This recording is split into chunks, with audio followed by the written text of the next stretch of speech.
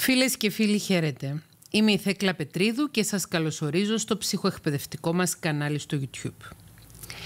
Αφορμή για το σημερινό βίντεο, ένα σχόλιο που έγινε κάτω από ένα βίντεο στο κανάλι μας. Λοιπόν, ο τίτλος είναι αυτός που διαβάζετε. Λόγω του πακέτου μου είναι δύσκολο να κάνω φιλίες. Εγώ το έχω βάλει μέσα σε εισαγωγικά έχω βάλει ένα ερωτηματικό και ένα θαυμαστικό στο τέλος γιατί για να είμαι ειλικρινής η διατύπωση αυτή καθ' αυτή λίγο με δυσκόλεψε. Θα το διαβάσω το σχόλιο και θα το σχολιάσουμε μαζί. Λοιπόν, καλησπέρα σας κυρία Θέκλα, χαίρετε. Θα μπορούσατε να κάνετε ένα βίντεο για τους ανθρώπους που λόγω του πακέτου που έχουν είναι δύσκολο να κάνουν φιλίες; Με αφορμή το βίντεο, μου ήρθε στο μυαλό μια φίλη που είχα, όπου ένιωθε ανασφάλεια απέναντί μου λόγω του παρουσιαστικού μου, των σπουδών κλπ. Άρα το πακέτο που λες εννοείς παρουσιαστικό και σπουδές. Και κρατούσε μια αμυντική στάση απέναντί μου προς το αγόρι της που έκανα παρέα, χωρίς να έχω κάποιο δόλο ή ύπουλες διαθέσεις μέσα στην παρένθεση τύπου να της τον κλέψω. Αυτό που με έκανε να λήξω αυτή τη φιλία ήταν το γεγονός ότι ενώ είχαμε βγει έξω μου ζήτησε να δει τα μηνύματα που είχαν ανταλλάξει με το αγόρι της και φίλο μου ενώ μου είπε ότι ήδη τα είχε δει από εκείνον και ότι ένιωσε οικειότητα, γι' αυτό μου είπε να τα δει. Επίσης για πολλή ώρα μου μιλούσε για μια περίοδο της ζωής της πριν κάνει σχέση με το φίλο μου και μου έλεγε για τις επαφές που είχε με άλλα αγόρια και ότι είχε πολύ πέραση. Από τη μεριά μου, από την πρώτη φορά που αρχίσαμε να βγαίνουμε, προσπαθούσα να προσέχω τις κινήσεις μου για να μην τη φέρω σε δύσκολη θέση και να μην παρεξηγήσει τις διαθέσεις μου. Εγώ εδώ θέλω να ρωτήσω, προφανώς από ό,τι καταλαβαίνω, το αγόρι της το γνώριζες από πριν. Έτσι καταλαβαίνω. Μπορεί να έχω και λάθος. Δεν ξέρω ότι το, αν το γνώρισες από πριν ή αν το γνώρισες όταν έκαναν σχέση. Και εσύ λες από την πρώτη φορά που αρχίσαμε να βγαίνουμε προσπαθούσα να προσέχω τις κινήσεις μου για να μην τη φέρω σε δύσκολη θέση και να μην παρεξηγήσει τις διάθεσεις μου.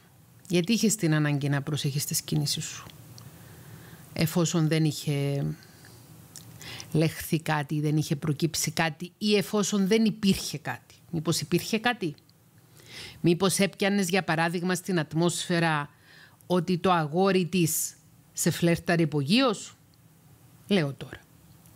Γιατί σε μια φιλική παρέα που υπάρχει συναισθηματική ασφάλεια και είναι η ρόλη ξεκάθαρη, δεν νιώθεις κάποια ιδιαίτερη ανάγκη εσύ που είσαι η φίλη της κοπέλας και φίλη του κοπελιού, του αγοριού, να προσέχεις τις κινήσεις σου για να μην τη φέρεις σε δύσκολη θέση.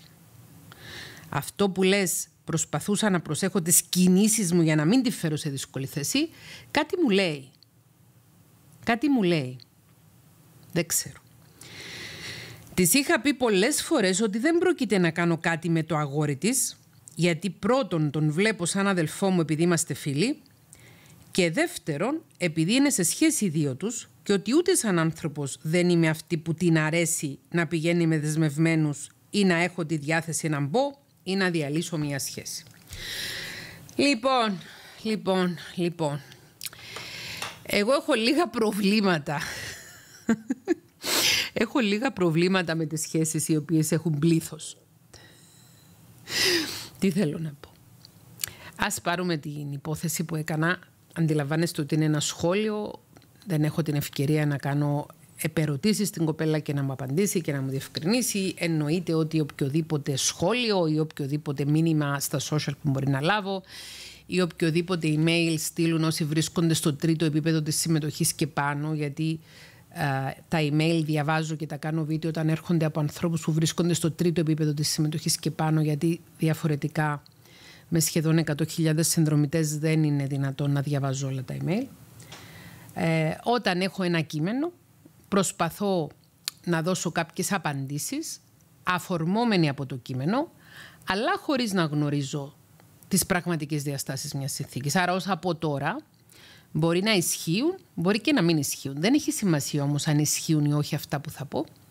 Σημασία έχει τα διδάγματα που μπορεί κάποιος να εξάγει μέσα από αυτά που θα σχολιάσω. Δηλαδή, όταν δημιουργείται μια νέα ερωτική σχέση, είναι απαραίτητο, απαραίτητο, το νέο ζευγάρι να έχει επαρκή χρόνο για να γνωριστεί αναμεταξύ του. Δεν είναι καλή ιδέα με το που θα δημιουργηθεί μια σχέση το νέο ζευγάρι που είναι μαζί δύο εβδομάδες, τρεις εβδομάδες, ένα μήνα, δύο μήνες, πολύ νωρίς στη σχέση τους, προτού δεθούν μεταξύ τους, να αρχίσουν να βγαίνουν με άλλους ανθρώπους επιτακτικής βάσεως. Γιατί είναι απαραίτητο στον πρώτο καιρό μιας γνωριμίας να υπάρχει focus, να υπάρχει εστίαση στο να γνωριστούν καλά οι δύο άνθρωποι που συνάπτουν τη νέα ερωτική σχέση και να χτίσουν βαθιά σύνδεση αναμεταξύ τους. Οπότε, αν στην αρχή μιας νέας γνωριμίας υπάρχει μια φίλη του άνδρα, ένας φίλος της κοπέλας ή ένας φίλος του άνδρα ή ένας φίλος της κοπέλας και αυτό φυσικά ισχύει και για ομόφυλα ζευγάρια ο οποίος είναι φάντες μπαστούνι σε κάθε τους έξοδο γίνονται πλήθος και δεν υπάρχει το απαραίτητο χρονικό διάστημα για να γνωριστούν αυτοί οι δύο άνθρωποι μεταξύ τους. Και πολλές φορές υπάρχουν υπόγεια συναισθήματα ανάμεσα σε δύο ανθρώπους οι οποίοι βρίσκονται στο friend zone, το οποίο μπορεί να είναι αμοιβαία, να έρχονται και από τις δύο πλευρές, ή να είναι μονομερή. Τι εννοώ; Μπορεί ένας άνδρας να κάνει παρέα με μια κοπέλα που να έχει το πακέτο. Εμένα δεν μου αρέσει η έκφραση πακέτο, γιατί ακούγεται λίγο αλαζονικό να λες για τον εαυτό σου ότι έχεις το πακέτο και να εννοείς ή να υπονοείς ότι άλλη δεν έχει το πακέτο. Ο κάθε άνθρωπος είναι ξεχωριστός, είναι διαφορετικός, έχει τη δική του ιδιοσυγκρασία, έχει τη δική του προσωπικότητα, έχει τα δικά του χαρίσματα, τα οποία δεν είναι καλή ιδέα να τα ανάγουμε σε πακέτο ή να τα καταβιβάζουμε σε μειονεκτικά στοιχεία. Με απλά λόγια, δεν είναι ο ένας καλύτερος από τον άλλο. Ο κάθε άνθρωπος έχει τη δική του αξία, η κάθε κοπέλα έχει τη δική της αξία, το κάθε κοπέλα έχει τη δική του αξία. Και ακριβώς αυτή η μοναδικότητα ανάμεσα σε δύο ανθρώπους που συνάπτουν μια νέα ερωτική σχέση χρειάζεται να επικρατεί ειδικά τον πρώτο καιρό για να χτιστούν γερά τα θεμέλια μιας σχέσης. Υπάρχει περίπτωση, για παράδειγμα, να κάνει μια κοπέλα παρέα με έναν τύπο τον οποίο να μην τον βλέπει ότι έχει το πακέτο ούτως ώστε να κάνει σχέση μαζί του, να κάνει παρέα μαζί του, να τον έχει στο friend zone, εκείνος να τρέφει υπογείως ερωτικά συναισθήματα για αυτήν, αλλά να μην κάνει κίνηση επειδή είναι στο friend zone, και όταν αυτός κάνει σχέση με άλλη κοπέλα, η οποία τον θέλει και τον επιλέγει για να είναι μαζί, ενώ η πρώτη κοπέλα αυτή με το πακέτο τον έχει στο friend zone, η κοπέλα η οποία έχει το πακέτο, αν είναι ναρκισίστρια και έχει ανάγκη από ναρκισιστική τροφοδοσία ή παροχή, είναι πολύ πιθανόν ενεφάντες μπαστούνι στις συναντήσεις του ζευγαριού να προσπαθήσει να κάνει και φίλη την κοπέλα ούτως ώστε να παίρνει ναρκισιστική τροφοδοσία και από τους δύο. Υπάρχουν άνθρωποι οι οποίοι δεν γουστάρουν κάποιους, αλλά τους κρατούν στο άμεσο περιβάλλον τους, ούτως ώστε το γεγονός ότι οι άλλοι τους θέλουν, παρόλο που μπορεί να μην το εκφράζουν, αλλά το καταλαβαίνουν από, τις, από τον τρόπο με τον οποίο τους συμπεριφέρονται, αυτό να θρέφει το ναρκισιστικό τους εγώ. Ένας άνθρωπος ο οποίος έχει φιλότιμο και ένας άνθρωπος ο οποίος έχει αυτογνωσία και αυτεπίγνωση και δεν θέλει να χρησιμοποιεί τους άλλους ανθρώπους προς ίδιον όφελος, άμα αντιληφθεί πως στο περιβάλλον του υπάρχει ένα πρόσωπο που τρέφει ερωτικά συναισθήματα για αυτόν, αλλά ο ίδιος δεν ανταποκρίνεται, κατά τη γνώμη μου δεν είναι πνευματικό, δεν είναι ανθρωπιστικό να συνεχίσει να έχει φιλία. Με απλά λόγια, αν μας γουστάρει κάποιος και εμείς δεν τον γουστάρουμε, δεν τον κρατάμε για φίλο για να νιώθουμε εμείς καλά με τον εαυτό μας και να παίρνουμε επιβεβαίωση για εμάς και το πακέτο μας. Υπάρχουν πολλές τέτοιες περιστάσεις. Όπου ένας άνθρωπος δεν γουστάρει κάποιον άλλον τόσο ώστε να κάνει σχέση μαζί του, αλλά τον κρατάει σε φιλικό επίπεδο, ούτως ώστε να παίρνει προσοχή, σημασία και να νιώθει ότι έχει αξία και ότι έχει πέραση. Δεν είναι παράδοξο, κατά τη γνώμη μου, με βάση όσα διάβασα, το γεγονός ότι η πρώην φίλη σου και η κοπέλα του φίλου σου προσπαθούσε να σου πει ότι η ίδια είχε πέρασει. Μήπως εσύ προέβαλες αυτό και με την παρουσία σου σε αυτή τη σχέση. Δεν ξέρω. Δεν γνωρίζω, θέτω θεωρητικά ερωτήματα, τα οποία θα απαντήσει ο καθένας στον εαυτό του που νιώθει ότι ταυτίζεται με αυτά που λέμε σε αυτό το σημερινό βίντεο. Πολλά μπορεί να συμβαίνουν.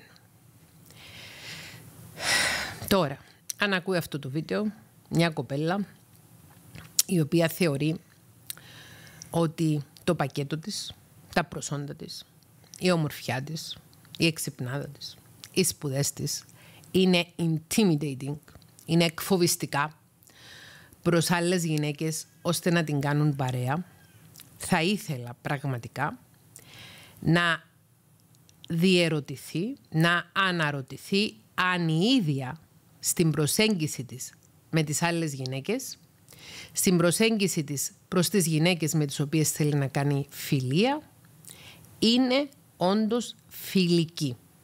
Πώς είναι μια φιλική προσέγγιση; Μια φιλική προσέγγιση είναι επί ίσης όρης επιλέγω να κάνω παρέα με ένα πρόσωπο επειδή το εκτιμώ. Όχι επειδή το θεωρώ κατώτερό μου και άρα μη απειλητικός προς το εγώ μου, ούτε επειδή το θεωρώ ανώτερό μου και έχω σκοπό να εκμεταλλευτώ τη λάμψη του, τις γνωριμίες του, τις διασυνδέσεις του ή δεν ξέρω εγώ τι άλλο. Πρέπει να είμαστε εντάξει στις ανθρώπινες σχέσεις μας. Ο μόνος λόγος για τον οποίο αξίζει τον κόπο να κάνουμε την προσπάθεια να δημιουργήσουμε μια φιλία είναι επειδή εκτιμούμε το πρόσωπο με το οποίο επιδιώκουμε να δημιουργήσουμε φιλία. Θέλουμε πραγματικά να κάνουμε φιλία με το πρόσωπο αυτό για το ίδιο. Δεν έχουμε δηλαδή αλλότερους σκοπούς. Του στυλ γουστάρουμε κάποιον με τον οποίο δεν μπορούμε να είμαστε σε σχέση και αυτός ο κάποιος γνωρίζει μια κοπέλα με την οποία συνάπτει σχέση. Άρα εμείς προσπαθούμε να γίνουμε φίλες με την κοπέλα του προκειμένου να τους κρατούμε και τους δύο από κοντά και προκειμένου να βάζουμε αυτό που λένε και στα κυπριακά θκιάλαφα ή να βάζουμε εμπόδια στη σχέση τους. Και προσποιούμαστε ότι θέλουμε πολύ να είμαστε φίλοι με την κοπέλα, ενώ στην πραγματικότητα να θέλουμε να την κρατάμε από κοντά και να ελέγχουμε την κατάσταση. Τίποτα από όλα αυτά δεν είναι αγαθό κίνητρο για φιλία. Ούτε καλοήθες κίνητρο. Δεν ξέρω, αλλά πολλοί άνθρωποι μπερδεύουν τα μπούτια τους. Δεν είναι ειλικρινείς με τον εαυτό τους. Δεν παραδέχονται στον ίδιο τους τον εαυτό τα κίνητρα τους. Για ποιο λόγο πλησιάζουν έναν άνθρωπο. Για ποιο λόγο επιλέγουν να έχουν συναντήσεις με έναν άνθρωπο και να δημιουργήσουν μια πλατωνική σχέση με αυτόν τον άνθρωπο, γιατί η φιλία είναι μία σχέση χωρίς το ερωτικό στοιχείο. Η φιλία είναι ένας πλατωνικός έρωτας. Και οποιοδήποτε κίνητρο πέρα από την εκτίμηση που τρέφουμε προς έναν άνθρωπο με τον οποίο θέλουμε και επιδιώκουμε να γίνουμε φίλοι, από τα αγαθά, καλοήθη συναισθήματα που τρέφουμε για έναν άνθρωπο με τον οποίο επιδιώκουμε να γίνουμε φίλοι, οποιοδήποτε άλλο κίνητρο δεν είναι ειλικρινές, δεν είναι έντιμο και δεν είναι φιλικό. Επίσης πρέπει να έχουμε στο μυαλό μας ότι δεν είμαστε υποχρεωμένοι να γίνουμε φίλοι με όποιον εκδηλώνει μία προθυμία για να γίνουμε φίλοι. Μία φιλία, ξαναλέω, είναι μια πλατωνική σχέση και χρειάζεται ενέργεια, χρόνο και κόπο. Και ένας άνθρωπος δεν μπορεί να έχει άπειρες φιλίες. Δεν μπορεί να έχει 30 φίλους 40 φίλους, 50 φίλους. Μπορεί να έχει 30 γνωστούς, 40 γνωστούς, 50 γνωστούς, αλλά ο χρόνος που χρειάζεται να αφιερώσουμε για να χτίσουμε και να κρατάμε ζωντανή μια φιλία και η ενέργεια που χρειάζεται να αφιερώσουμε είναι τόση ώστε να μην μπορούμε να έχουμε περισσότερους από τρεις, τέσσερις, άντε πέντε το πολύ, καλούς φίλους. Και όταν κάποιος είναι single, όταν κάποιος δεν έχει σύντροφο, μπορεί να αφιερώσει περισσότερο χρόνο στις φιλίες του. Όταν όμως δημιουργηθεί μια ερωτική σχέση, όταν μπει σε μια ερωτική σχέση, εάν μπαίνει με την όρεξη του σε μια ερωτική σχέση και επειδή πραγματικά επιθυμεί να δημιουργήσει μια ερωτική σχέση, είναι φυσιολογικότατο να απομακρυνθεί για λίγο από τους φίλους του προκειμένου να χτίσει τη σχέση του. Και σε αυτή την περίπτωση το τραγούδι της Αλεξίου και εμείς ερωτευτήκαμε αλλά δεν τρελαθήκαμε τους φίλους μας δεν γκέμε έχει ε, μηνύματα τα οποία δεν είναι ψυχοεκπαιδευτικά. Γιατί ένας πραγματικός φίλος χαίρεται με τη χαρά του φίλου του και αφήνει χρόνο στο φίλο του προκειμένου να χτίσει τη σχέση του και να τη βιώσει. Θα σας πω ένα δικό μου προσωπικό παράδειγμα εδώ. Έχω έναν φίλο, πολύ καλό φίλο, τον πρόεδρο μου. Τον γνωρίζω από τον καιρό που είμαστε παιδιά. Όμως από το 2011 και μετά, δηλαδή τα τελευταία 13 χρόνια, διατηρούμε μια στενή φιλία. Και είναι ένας άνθρωπος τον οποίο αγαπώ πολύ και τον νιώθω πολύ κοντά μου. Πιο κοντά μου και από τον ίδιο μου τον αδερφό. Και πολλές φορές το λέμε μεταξύ μας ότι η δική μας η φιλία είναι σημαντική για εμάς και είναι τύπου αδερφική φιλία. Πώς είναι η Αριστονίκη σαν αδελφή μου, η αδελφή που δεν είχα ποτέ, έτσι και ο πρόδρομος είναι σαν αδελφός μου, είναι αδελφικός μου φίλος. Ο πρόδρομος είναι single. Εγώ υπήρξα single για το μεγαλύτερο χρονικό διάστημα της ζωής μου. Τα τελευταία 3,5 χρόνια που ήμουν single, μιλούσαμε πιο συχνά με τον πρόδρομο από ότι προηγουμένως που δεν ήμουν single.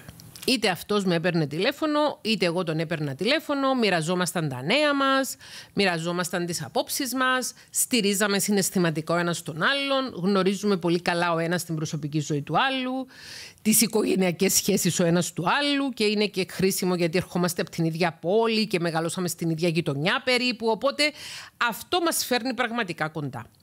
Όταν γνώρισα τον Πάνο, το είπα στον πρόδρομο. Του είπα ότι γνώρισα κάποιον και θα πάω στη Λάρισα για να δοκιμάσω τη σχέση μας. Ο πρόδρομος μου είπε εγώ σε αγαπώ, είμαι δίπλα σου, θα σου αφήσω το χώρο σου γιατί τώρα στην αρχή μιας σχέσης χρειάζεσαι το χώρο σου και είμαι εδώ για σένα. Μια φορά την εβδομάδα μου στέλνε, μου στέλνε μια φορά την εβδομάδα περίπου μου στέλνε ένα μήνυμα just checking on you. Πώς είσαι; Και του έλεγα: Είμαι καλά. Αν είχα χρόνο, τον έπαιρνα τηλέφωνο και μιλούσαμε και ήταν και ο πάνω μπροστά, τα μωρά. Αν δεν είχα χρόνο, το απαντούσα: Είμαι καλά, αλλά έχω δουλειά τώρα και δεν μπορώ να σου μιλήσω κλπ.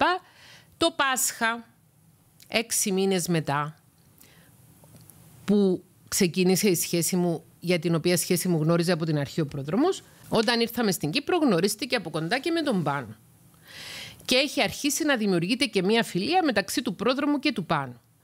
Τώρα που δεν είμαστε στα πρώτα στάδια της σχέσης, έχουμε ξεπεράσει το πρώτο εξάμεινο και ήδη η σχέση μας έχει στερεωθεί αρκετά, έχουμε περισσότερες φιλικές συναντήσεις με τον πρόδρομο και βγαίνουμε και έξω και έρχεται και εδώ στο σπίτι μας και εμείς είμαστε ένα ζευγάρι στημένο, ένα ζευγάρι που έχει δεθεί μεταξύ του και έχει χτίσει τα θεμέλια του και μπορούμε ως ζευγάρι να κάνουμε παρέα με έναν άνθρωπο ο οποίος με αγαπά εμένα εδώ και πολλά χρόνια και τώρα έχει αρχίσει να αγαπάει και το σύντροφο μου και τα παιδιά μου. Και μάλιστα τον είχαμε καλεσμένο για φαγητό πριν μερικές μέρες. Και την επομένη μου έστειλε, θα σας διαβάσω το μήνυμα που μου έστειλε.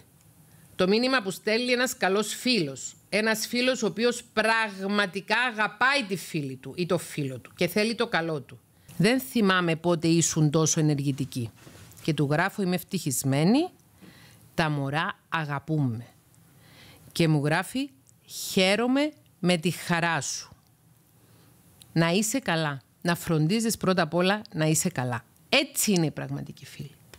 Ούτε ζηλεύουν όταν εσύ δημιουργήσεις μια σχέση, ούτε προσπαθούν να πυρπολίσουν τη σχέση σου, ούτε προσπαθούν να κάνουν μποϊκοτάζ μέσα στη σχέση σου και να είναι σαν το φάντιν μπαστούνι και να μην σε αφήσουν να γνωρίσεις τον ή την νέα σύντροφό σου, κάνουν διακριτικά στην άκρη, δίνουν χώρο στο ζευγάρι να γνωριστεί και να αδέσει και στη συνέχεια γνωρίζουν ότι ένα ζευγάρι όταν πλέον έχει στερεωμένη τη σχέση του μπορεί να ανοίξει και τον κύκλο του. Αυτή είναι η γνώμη μου. Αυτή είναι η άποψη μου. Τονίζω ξανά πως δεν μου αρέσει η έκφραση το πακέτο μου δεν μου επιτρέπει να έχω φιλίες. Θα απαντούσα η προσέγγιση σου ίσως δεν σου επιτρέπει να έχεις φιλίες. Οι άνθρωποι οι οποίοι είναι πραγματικά αξιόλογοι είναι επίσης ταπεινοί, δεν έχουν μεγάλη ιδέα με το, για τον εαυτό τους και χρειάζεται να τους πούν οι άλλοι πόσο έξυπνοι είναι ή πόσο εντυπωσιακοί είναι ή τι καλοί άνθρωποι είναι. Δεν χρειάζεται να το διατυμπανίζουν και να το διαφημίζουν από μόνοι τους. Αυτές ήταν οι σκέψεις μου, οι υποθέσεις μου πάνω στο σχόλιο που διάβασα. Ξαναλέω ότι δεν μπορώ να έχω μια ακριβή γνώση, γιατί είναι ένα σχόλιο πάνω στο οποίο κάνω κάποιες υποθέσεις. Χρησιμοποιήστε το αυτό το βίντεο ως μια αφορμή για να αναλογιστείτε πόσο αληθινοί είστε εσείς οι ίδιοι στις δικές σας φιλίες, ποια είναι τα κίνητρα σας στις δικές σας φιλίες, αν σέβεστε την προσωπική ζωή και τις σχέσεις των φίλων σας, στην πραγματικότητα να τις σέβεστε. Όχι να λέτε εγώ πρόσεχα να μην την κάνω να νιώσει άσχημα, το οποίο σημαίνει επειδή εγώ έχω αυτό το σπουδαίο πακέτο, αλλά παρόλα αυτά αντάλλαζα και μηνύματα με το φίλο της. Και όταν μου είπε θέλω να δω και τα μηνύματα από τη δική σου πλευρά, γιατί μου φάνηκαν πολύ φιλικά, εγώ διέκοψα τη φιλία.